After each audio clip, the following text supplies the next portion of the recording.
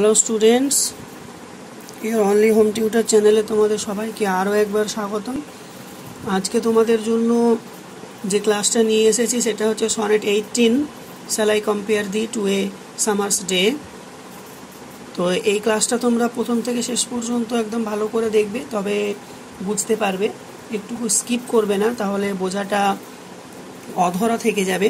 তোমরা যারা নতুন এসছো, যারা নতুন এই চ্যানেলটিকে দেখছ তারা আরও অনেক আপলোড করা হয়েছে, অনেক ক্লাস দেওয়া হয়েছে, সেগুলো সার্চ করে দেখতে পারো এখানে। আর আশা করি তোমাদের ডাউটগুলো সব ক্লিয়ার হয়ে যাবে। ক্লাসগুলো একদম গোড়া থেকে শেষ পর্যন্ত দেখবে, কোনো প্রবলেম হলে আমাকে কমেন্ট করে অবশ্যই জানাবে। যদি প্রয়োজন হয় তোমাদের জন্য আমি আরও অনেক ক্লাস করতে পারি। আর যারা নতুন এসছো তাদেরকে আরও একবার বলি যে তোমরা চ্যানেলটা সাবস্ক্রাইব করে রাখবে তোমাদের ইমেল আইডি দিয়ে। আর পাশে যে বেল আইকন আছে, সেটাকে ক্লিক করে অল ক্লিক করে দেবে। তাতে করে কি হবে? যে যখনই কোনো নতুন ক্লাস আপলোড করা হবে, তোমরা সবার আগে এই নোটিফিকেশানটা পেয়ে যাবে। তো চলো, আজকে এটা শুরু করা যাক।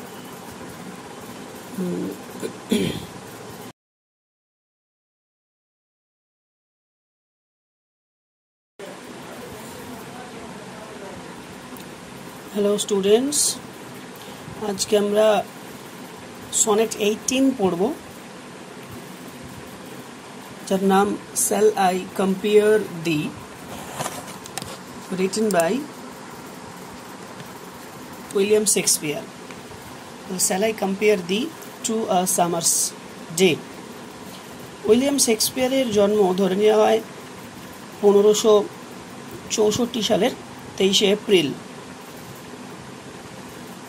আমরা শেক্সপিয়ারের নাম এর আগে বহুবার শুনেছি, কারণ Shakespeare was greatest writer in the English language English সাহিত্যে এই শেক্সপিয়ার একজন বড় মানের, খুব বিরাট মানের একজন লেখক ছিলেন। Shakespeare is called the father of English sonnet sonnet means চতুর্দশপদী কবিতা। এই চতুর্দশপদী কবিতার জনক বলা হতো শেক্সপিয়ারকে।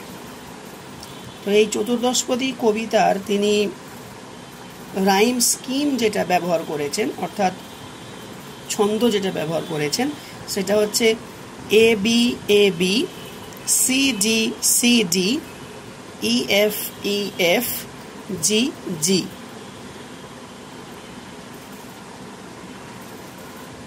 এর যে স্ট্রাকচার এই পোয়েমটির এই সনেটটির যে স্ট্রাকচার সেটাকে বলা হয় three quatrains and a concluding couplet three quatrains and a concluding couplet three quatrains মানে তিনটে চৌপদী। চার লাইন করে তিনটি স্ট্যান্ডা আছে এবং কনক্লুডিং কাপলেট মানে শেষের দুটো লাইন আছে। তাহলে টোটাল ফোরটিন লাইন্স চতুর্দশপদী কবিতা হলো। তিনি আরও যে সনেট লিখেছেন, সেই সমস্ত সনেটের মধ্যে তিনটি সাবজেক্ট আমরা খুঁজে পাব। First, a dark lady, a rival poet, a young man. এই তিনটি বিষয়বস্তু কিন্তু তার সনেটের মধ্যে আমরা দেখতে পাই। এর বিষয়বস্তুটা হচ্ছে পাওয়ার পাওয়ার যদি আমরা বলি, power of poetry and eternal beauty of the fair. youth, the destructive power of time, and the permanence of poetry.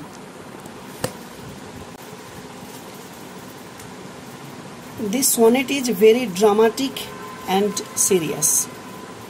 খুব নাটকীয় এবং খুব গম্ভীর The poetic persona says that there is nothing to compare this person to.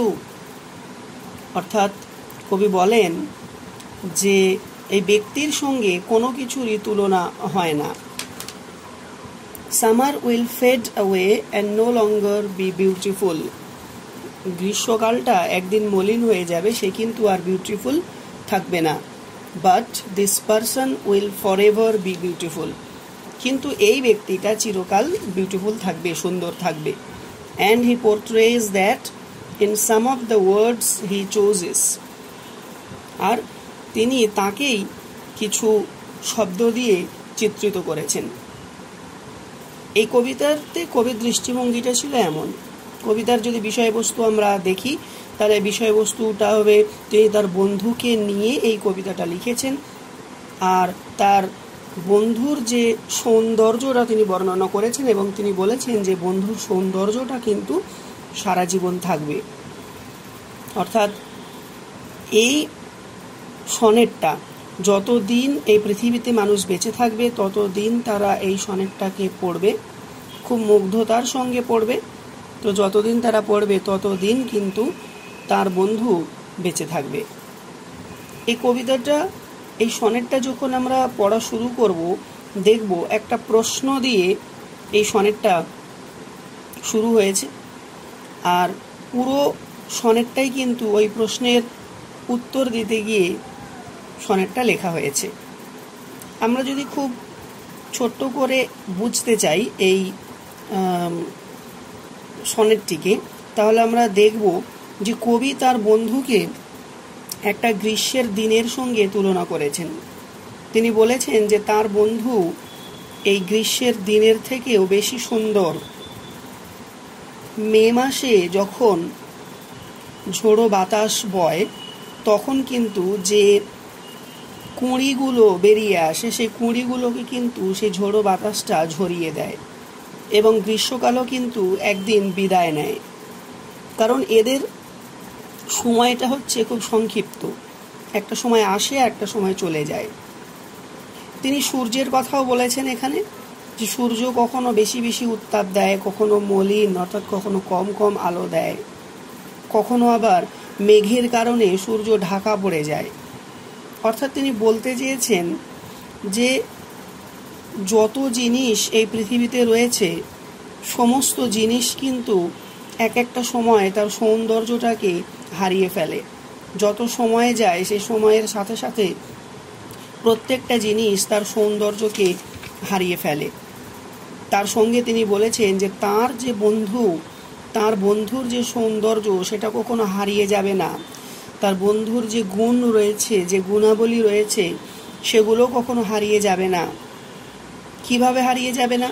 ওই যে বললাম একটু আগে, যে যতদিন লোকেরা বেঁচে থাকবে, ততদিন এই কবিতাটি তারা পাঠ করবে আর ততদিন তার বন্ধু বেঁচে থাকবে এই সনেটের মধ্য দিয়ে। এবার আমরা এই সনেটটাকে পড়ব। এবং মিনিংটা করে দেখি এর মধ্যে কি আছে। তার আগে তোমাদের বইতে একটা হেডিং দেওয়া রয়েছে, চলো ওটা পড়ে নেওয়া যাক। William Shakespeare fifteen sixty four to sixteen sixteen, অর্থাৎ পনেরোশো চৌষট্টিতে জন্ম এবং ষোলোশো ষোলো খ্রিস্টাব্দে তার মৃত্যু। Was a famous English poet and dramatist the sixteenth century, ষোলোর শতকে উইলিয়াম শেক্সপিয়ার ইংরাজি সাহিত্যের একজন কবি এবং একজন নাট্যকার ছিলেন, বিখ্যাত কবি এবং বিখ্যাত নাট্যকার ছিলেন।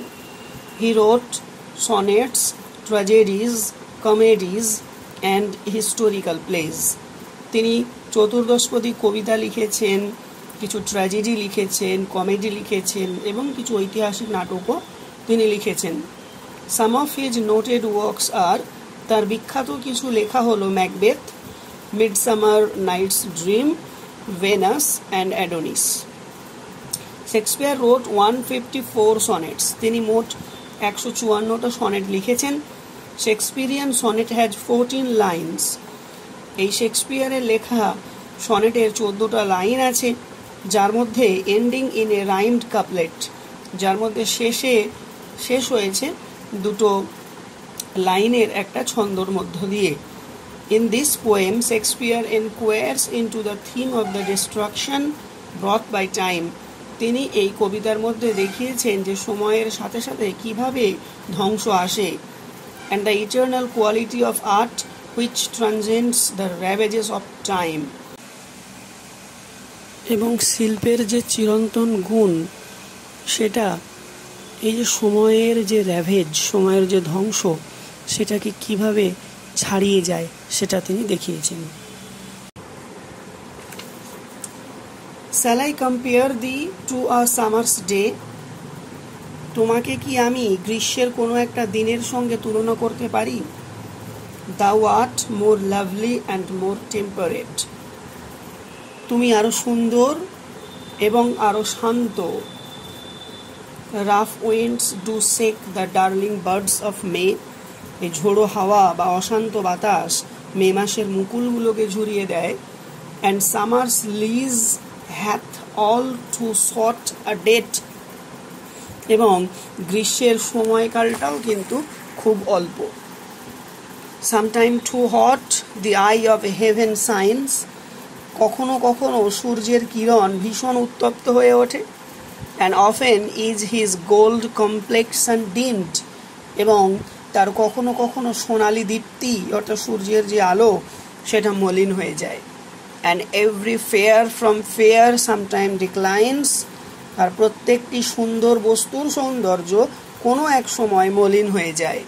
বাই চান্স হয়তো or nature's changing course untrimmed হয়তো দুর্ঘটনাবশত নয়তো প্রকৃতির পরিবর্তনের নিয়ম অনুযায়ী সৌন্দর্যহীন হয়ে যায়। By but thy eternal summer shall not fade কিন্তু তোমার শাশ্বত গ্রীষ্মের সৌন্দর্য কখনো বিবর্ণ হবে না nor lose possession of that fair thou owest যে সৌন্দর্য তোমার কাছে আছে, কখনো তুমি তা হারাবে না। Nor shall death brag the wanderest in his shade মৃত্যুও গর্ব করে বলতে পারবে না যে তুমি তার ছায়ায় বিচরণ করো। When in eternal lines to time thou growest কারণ আমার কবিতার অমর পঙ্ক্তিতে তুমি চিরদিন বেঁচে থাকবে। So long as men can breathe or eyes can see যতদিন মানুষ জীবনের শ্বাস নিয়ে বেঁচে থাকবে অথবা চোখ দুটি দেখে যাবে so long lives this and this gives life to thee ততদিন এই কবিতা বেঁচে থাকবে এবং এই কবিতা তোমাকেও বাঁচিয়ে রাখবে।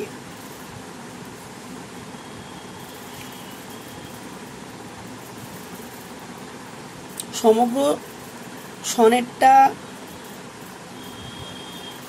দুটো পংক্তিতে হয়েছে। প্রথম পংক্তিতে কি আছে যে, কবিতার প্রিয় বন্ধুর সৌন্দর্যের সঙ্গে গ্রীষ্মদিনের সৌন্দর্যের তুলনা করেছেন। ঠিক তার পরের পংক্তিতে কি বলা হয়েছে? যে সে তুলনামূলকভাবে আরও সুন্দর এবং ধীর, স্থির। গ্রীষ্মের দিন উষ্ণ এবং আনন্দদায়ক হতে পারে, কিন্তু প্রকৃতির সৌন্দর্য আর প্রাকৃতিক দ্রব্যগুলি ক্ষণস্থায়ী। গ্রীষ্মের ঝোড়ো বাতাস মে মাসের সুন্দর ফুলের কুঁড়িগুলি ঝরিয়ে দেয়। গ্রীষ্ম ঋতু নিজেও খুব ক্ষণস্থায়ী। কখনো রৌদ্র প্রখর হয়, কখনো তার সোনালি মুখ মেঘে মলিন হয়ে যায় প্রতিটি সুন্দর জিনিস একটি নির্দিষ্ট সময়ের জন্য থাকে। আর কিছু পরে তার সৌন্দর্য চলে যায়। কিন্তু তার বন্ধুর চিরন্তন সৌন্দর্য কখনো মলিন হবে না। যতদিন লোকেরা বেঁচে থাকবে আর এই সনেট পড়বে, ততদিন তার বন্ধুর সৌন্দর্যও বেঁচে থাকবে। সে কবির চিরকালীন পংক্তিগুলিতে বেঁচে থাকবে। এই হচ্ছে টোটাল কবিতাটা। টোটাল সনেটটা তোমরা ভালো করে সনেটটা পড়তে থাকো।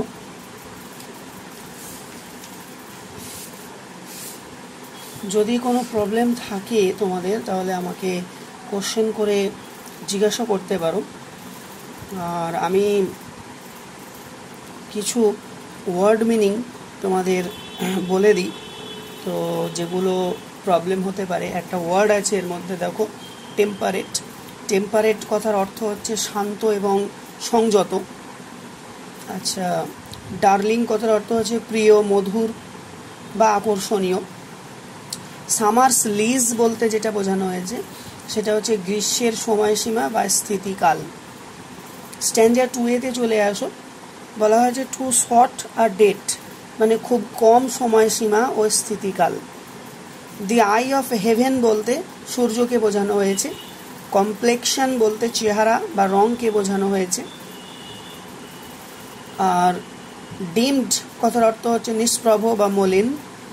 এভরি ফেয়ার মানে প্রত্যেকটা সুন্দর মানুষ বা জিনিস।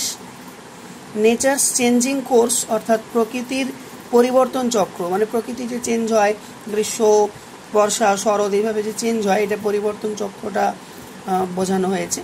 আনট্রিমড হচ্ছে সৌন্দর্যটা হারিয়ে গেছে, এমন বোঝানো হয়েছে। স্ট্যান্ডার থ্রিতে বলা হয়েছে, ইটারনাল সামার অর্থাৎ চিরন্তন চিরন্তন যে যৌবন বা সৌন্দর্য সেটা বোঝানো হয়েছে। লুজ পজিশন মানে অধিকারটা হারিয়ে যাওয়া। অওয়েস্ট কথার অর্থ হচ্ছে ওন অধিকার করা। ব্র্যাগ কথার অর্থ হচ্ছে গর্ব করে বলা। ওয়ান্ডারেস্ট মানে হচ্ছে ওয়ান্ডারকে বোঝানো হয়েছে মানে ঘুরে বেড়ানো। হিজ সেড কথার অর্থ হচ্ছে মৃত্যুর ছায়া। ইটারনাল লাইন্স মানে কবিতার লাইনগুলোকে বোঝানো হয়েছে। দাউ গ্রোয়েস্ট মানে ইউ উইল রিটেন মানে তুমি বজায় থাকবে, এটা বোঝানো হয়েছে। কনক্লুডিং কাপলেটে আছে, দেখো, এখানে ব্রিদ আছে, নিঃশ্বাস নেওয়া, আর দিস চতুর্দশপদী কবিতা। তোমরা যারা প্রথম এই চ্যানেলটা প্রথম তোমরা দেখছ। তো তারা আরও সার্চ করতে পারো চ্যানেলটায় আরও আগে অনেকগুলো প্রায় দেয়া হয়ে গেছে। তো আর একটা প্রোজ একটা ড্রামা শুধু বাকি আছে ক্লাস টুয়েলভের জন্য। উম, আগেরগুলোও তোমরা দেখো। সেখানেও আশা করি তোমাদের সমস্ত ডাউটগুলো ক্লিয়ার হয়ে যাবে। আর তোমরা যারা নতুন এখানে এসছো নতুন যারা দেখছ তোমরা তোমাদের ইমেল আইডি দিয়ে এই চ্যানেলটাকে সাবস্ক্রাইব করে রেখো। আর পাশে যে বেল আইকন রয়েছে, এটাকে ক্লিক করে অল করে রাখবে। যাতে করে নতুন ভিডিও যখনই আপলোড হবে, তখনই তোমাদের কাছে নোটিফিকেশানটা সবার আগে পৌঁছে যাবে। আর কোনো সময় নষ্ট না করে তোমরা জানতে পারবে যে কোন ভিডিও আপলোড করা হলো, কোন ক্লাসটা আপলোড করা হলো, সেটা তোমরা বাড়িতে বসে দেখে নিতে পারবে। ঠিক আছে, তাহলে তোমরা দেখতে থাকো। আর প্রবলেম হলে আমাকে অবশ্যই কমেন্ট করে জানাবে।